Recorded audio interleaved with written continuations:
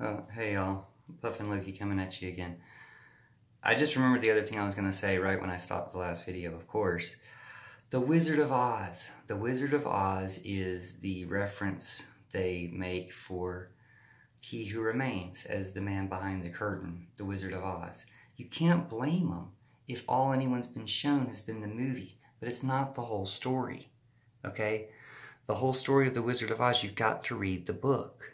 If you read the book, The Wizard of Oz, and read the other books in the series, you'll hear more of the whole story. The wizard becomes a real wizard. There's more to it than this.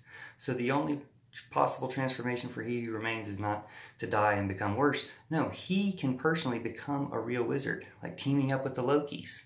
So I'll tell you that story here on the Puffin channel. Thanks for watching Puffin Loki. See you soon. And read The Wizard of Oz, please. It's good for you.